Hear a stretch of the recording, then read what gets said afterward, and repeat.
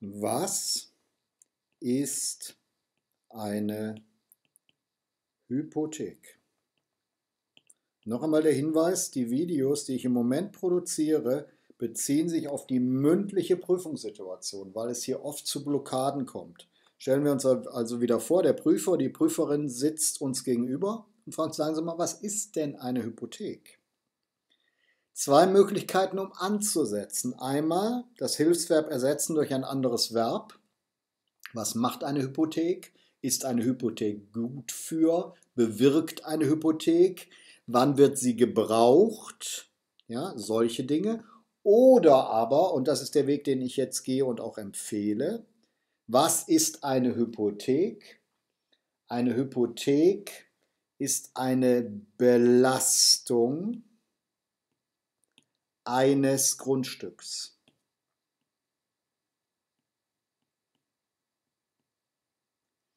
Eine Belastung eines Grundstücks, ja, Belastung, aha, okay.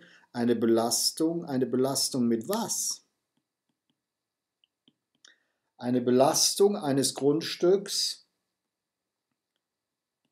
mit einem Pfandrecht. Eine Belastung eines Grundstücks oder dieses Grundstücks mit einem Pfandrecht. Und wenn man das weiß, dann kann man natürlich auch von der anderen Seite sich annähern und annähern und sagen, was ist eine Grundstück, äh, eine, was ist eine Hypothek? Und hier das Hilfsverb ersetzen und sagen, eine, äh, und sagen, eine Hypothek wird gebraucht, wenn der Eigentümer einen Kredit braucht dann kann er das Grundstück belasten und eine Form der Belastung ist die Hypothek. Wird gebraucht oder wird eingesetzt, wird eingesetzt, wenn der Eigentümer, ich kürze ab, einen Kredit braucht.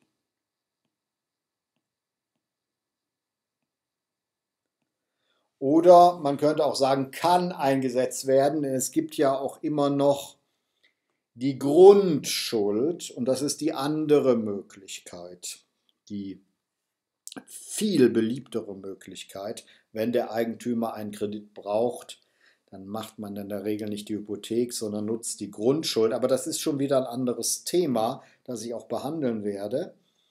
Aber gehen wir zurück zu unserer Ausgangssituation. Der Prüfer fragt, sagen Sie mal, was ist denn eine Hypothek? Dann können wir sagen, eine Hypothek wird gebraucht, wenn der, oder kann, kann eingesetzt werden, wenn der Eigentümer einen Kredit braucht. Dann ist das eine Sicherheit. Mhm, sagt der Prüfer, wunderbar, gut, richtig, können Sie es noch ein bisschen weiter erläutern. Genau genommen ist das eine bestimmte Form der Sicherheit, nämlich ein, und das könnte man auch hier unmittelbar sagen, ein Grundpfandrecht.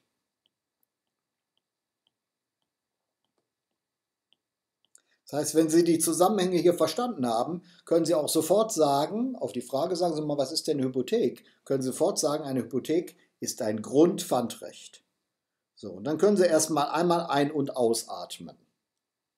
Denn dieser Begriff muss jetzt erstmal sagen und der Prüfer wird natürlich fragen, wunderbar, gut, was ist denn ein Grundpfandrecht? Sie können auch auf diese Art und Weise dem Prüfer den Ball nochmal zuspellen, denn Sie wissen ganz genau, was er jetzt sagen wird. Eine Hypothek ist ein Grundpfandrecht. Gut, sagt der Prüfer, was ist denn ein Grundpfandrecht? Können Sie es noch ein bisschen genauer erläutern? Das ist richtig. Und dann können Sie den Weg hier gehen und sagen, nun, ein Grundpfandrecht ist die Belastung eines Grundstücks mit einem Pfandrecht. Ja, Grundpfandrecht, das heißt ein Grundstück wird belastet mit einem Pfandrecht. Und wann braucht man ein Pfand als Schuldner? Wenn man einen Kredit haben möchte. Das ist eine Hypothek. Sie dient also dazu, einen sogenannten Hypothekarkredit für einen Hypothekarkredit. Das ist ein Kredit, der mit einer Hypothek abgesichert ist. Hypothekarkredit. Ja, für was? Für einen Hypothekarkredit. Und jetzt können Sie dem Prüfer eine weitere Brücke bauen. Und Sie können sagen, es gibt noch ein anderes Grundpfandrecht, nämlich die Grundschuld. Und beides sind Grundpfandrechte. Hypothek und Grundschuld sind beides Grundpfandrechte. Aber, und damit sind wir schon bei der Besonderheit der Hypothek. Die Hypothek ist also ein Pfandrecht, genauer gesagt ein Grundpfandrecht. Ja, hier ist alles drin. Pfandrecht an einem Grundstück, Grundpfandrecht. Und jetzt kommt das Besondere und damit auch der Gegensatz zur Grundschuld. Die Hypothek, ich kürze ab, H für Hypothek, besteht immer in Höhe der Hauptforderung.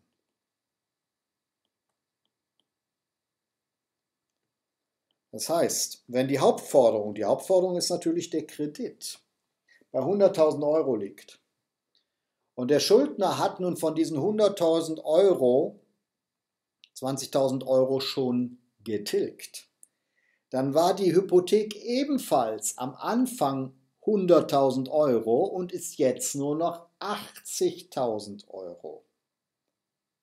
Und wenn der Schuldner den Kredit, die Hauptforderung komplett getilgt hat, ist auch die Hypothek getilgt, ist die Hypothek erloschen.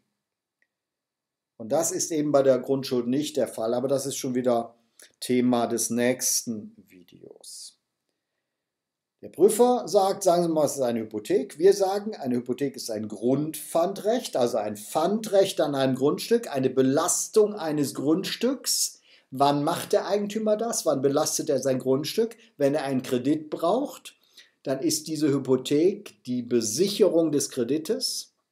Und diese Besicherung steht und fällt mit dem Kredit. Das heißt, wenn der Kredit weniger ist, wenn der Kredit weniger ist, ist die Hypothek auch weniger. Der Prüfer wird begeistert sein. Ja? Sie können dann aber auch direkt weiterreden und dann sagen, wenn ich dann noch das zweite Grundpfandrecht erläutern darf, nämlich die Grundschuld, da wird kein Prüfer Nein sagen. Der ist ja so froh, dass Sie jetzt reden. Dann sind wir schon beim nächsten Video. Aber vorher möchte ich noch eins sagen, nämlich, dass ich im Übrigen glaube, dass wer in die Hölle will, nur einen Fernlehrgang zu buchen braucht. Wollen Sie hingegen lernen, ohne zu leiden? Dann klicken Sie mal auf den Link unter diesem Video. Mein Name ist Marius Ebert. Vielen Dank.